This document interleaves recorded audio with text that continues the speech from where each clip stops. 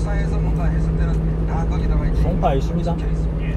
그래서 이거를 함부로 못 돌립니다. 나중에 출처가 다 나오기 때문에 아마 그런 거라면 법무부에서 보유번호를 다 줬을 거예요. 오현실마다 그런 것들이 아마 추적이 되니까 딱 체감 거에 나오는 것이고 경찰도 그냥 강제수사를 당연히 그렇죠. 하지 않았을 거 아닙니까? 뭐 경찰이 어떻게 그 피해를 저 하느냐에 따라 나중에 뭐 아니면 어떻게 하겠습니까? 다 그런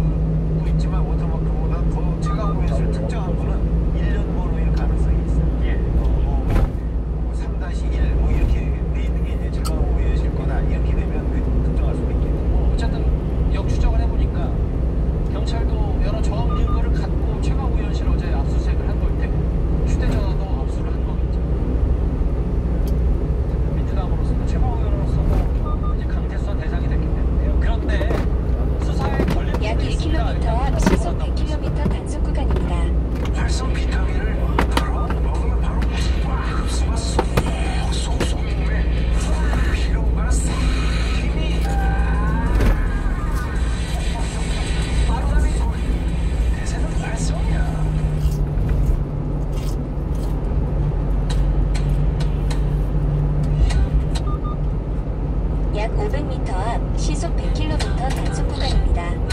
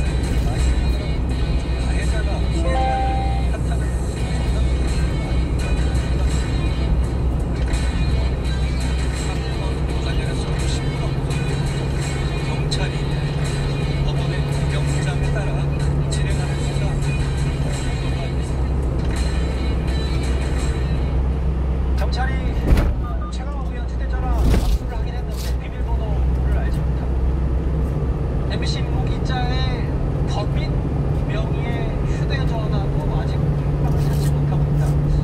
수사가 조금 쉽지 않겠네.